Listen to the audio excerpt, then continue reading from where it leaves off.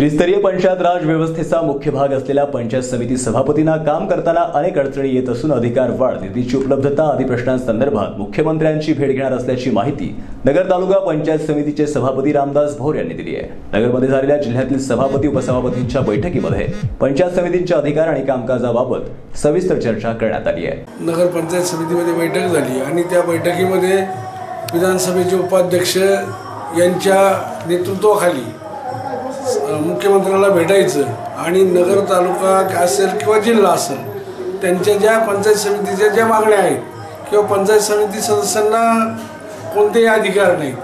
जर समजा ते अधिकार दिले गेले नाहीत तर पंचायत राज व्यवस्था मोडकळीस येईल. जिल्हा परिषद पंचायत समितीच्या माध्यमातून किंवा ग्रामपंचायतच्या माध्यमातून नगर जिल्ह्यामध्ये अतिशय चांगलं काम होत आहे. आणि मग जर ह्या संस्था जर बरखास्त झाल्या किंवा यांचे जर निधी अपुरे पडले तर उद्या उद्याच्या काळात अतिशय धोका निर्माण होणार आहे.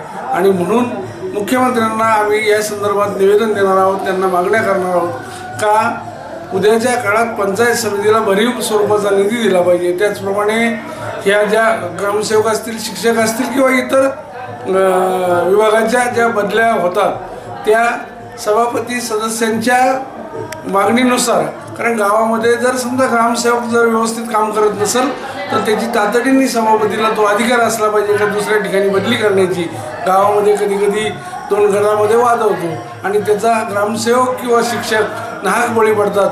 आणि अशा वेळेस का ते अधिकार जर सभापतीला असले तर उद्याच्या काळात होणारी हेळसांड थांबेल आणि गाव सुरळीत होईल जेणेकरून उद्याच्या काळात आणि त्याचप्रमाणे नगर म्हणजे जिल्ह्यामध्ये पंचायत समितीला अतिशय कमी निधी येतो.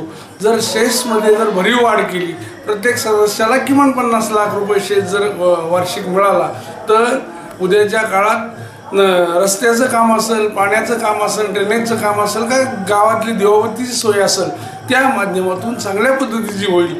जेणेकरून पंचायत समिती असेल जिल्हा परिषद असेल अधिक सक्षम होण्यास मदत होईल. आणि याच मागणीसाठी उद्या विधानसभेचे उपाध्यक्ष माननीय विजयराव साहेब यांच्या नेतृत्वाखाली मुख्यमंत्र्यांना आम्ही सगळे पंचायत समिती सदस्य सभापती उपसभापती विधिमंडळामध्ये भेटणार आहोत.